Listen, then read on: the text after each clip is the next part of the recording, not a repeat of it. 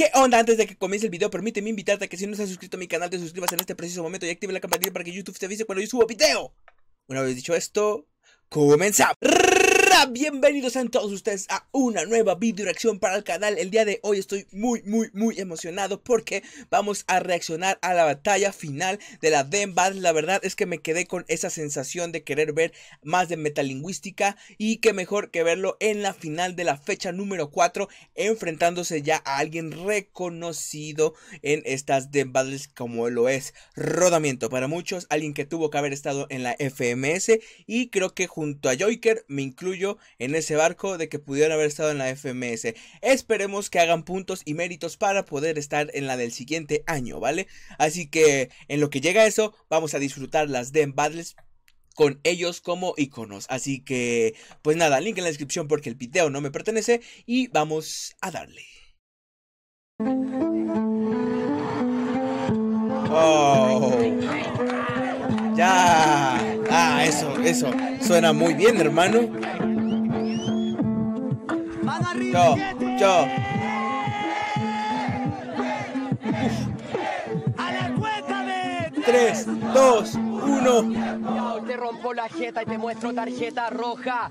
Este rapper en la pista aquí se enoja. Estás adentro del circo, pero con la pata coja. Dejo que cierren las cuerdas hasta que se pongan flojas. Mucho más de lo que das. Estás este rapero en la pista, no lo ha captado. Dentro de la batalla parece que te dieron filo. Queríais tener el hilo, pero venía el curao. Más de la pista, tú perdiste este partido. Queríais ganar la batalla, pero no podíais conmigo. Ahora van a entender por qué el rodamiento está resentido. Porque estáis tocando el violín mientras el hip hop se está comiendo conmigo.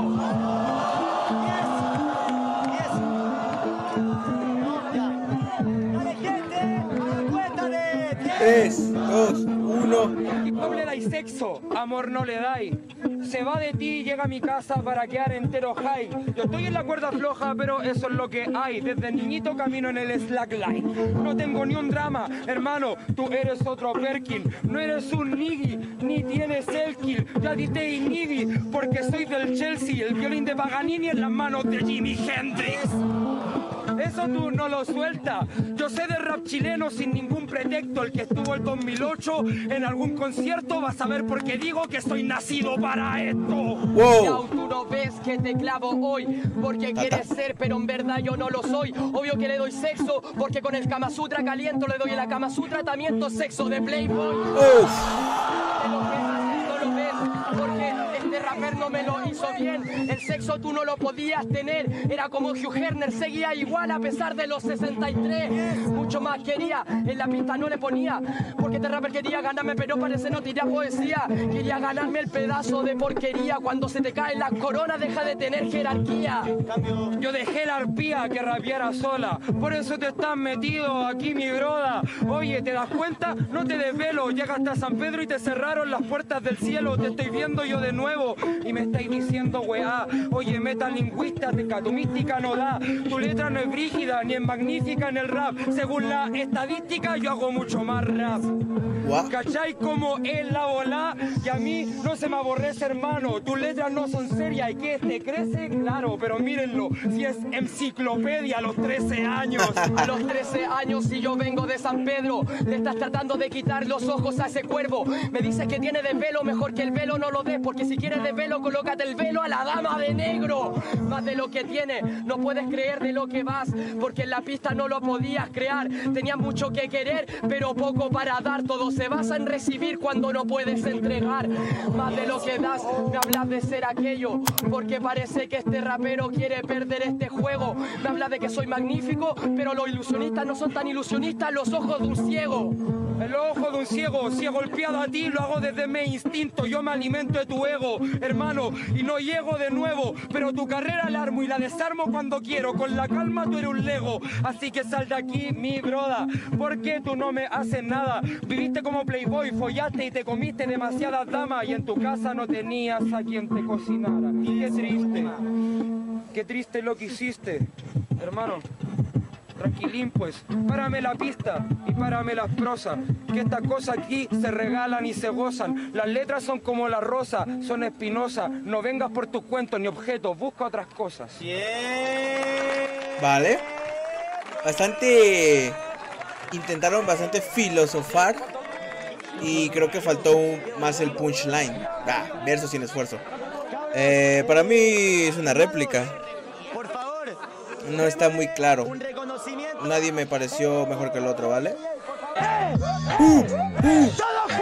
En la de 3, 2, 1. Ya le pegué el micrófono. Mi hermano, y este no rapea. Aunque la crea, yo me lo funo. Yo era Arturo Prat en Pueblo Paleta junto a Asperchu y en 1984 está ahí en 891. No lo hiciste bien, no lo podías creer.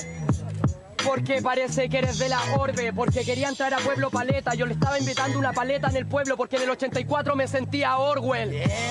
Y Arturo Prat, ¿dónde lo dejaste? Oye, hermano, vos la cagaste. El pueblo Paleta, Pikachu, el Arturo Prat del arte por su nación de él podría sacrificarse. Podría sacrificarse, eso sería verdad. Es distinto que en ese año a ti te la puedan gritar. Estoy en Pueblo Paleta y estoy con Arturo Prat. Al abordaje, muchachos, vamos a atrapar un Magikarp. ¡Ya! ¡Atrápalo! Pero Arturo Prat, no seas descarado, que lo atrapaste Magikarp y te comió de Yara no le dejo un chichón, le dejo un chacón, está contando lo que vio. En el 1984 el año se te pasó, porque faltaba mucho para el mundial, años faltaban dos. No faltaban dos, y tú tienes el combate. En Pueblo Paleta yo maté a este primate, porque es un man que en el combate. Y a tu rombada, Arturo Prat, 1984, punto ataque. Puntos de ataque, eso a ti te falta. Tienes puntos de ataque, se bajan en la balanza. Estaba en Pueblo Paleta, tú perdiendo la esperanza. Estaba con Arturo Prat y estábamos jugando Pokémon Esmeralda. A ver, esa, esa rima la pusieron en las mejores de, de- en lo mejor de las Dem Battles, y eh, eh, si la captas bien eh, es una gran, gran, gran rima porque eh, al parecer en la historia chilena hace referencia a cierto barco de, del personaje que están mencionando.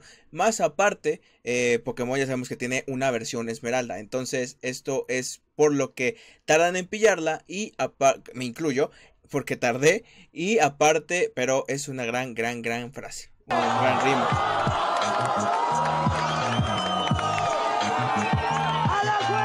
3, 2, 1. Tu mic deja estilo, porque Pero si estoy equivocado, chilenos amigos, por favor déjenme en los comentarios, ¿vale? Y díganme, eres un idiota. Aquí sí se los permito. Pero solo por esa frase. Aquí yo te vi bien tranquilo, pero como te lo digo, a ti mi amigo, por buscar la esmeralda perdiste el rubí y el zafiro. En eso aplico ley, porque sabes que en esto me corono como rey. En Pueblo Paleta era Arturo Prat, le estaba prendiendo rojo fuego al libro de 1984, era Fahrenheit. En Fahrenheit no prende fuego, con los grados Celsius nos vemos luego.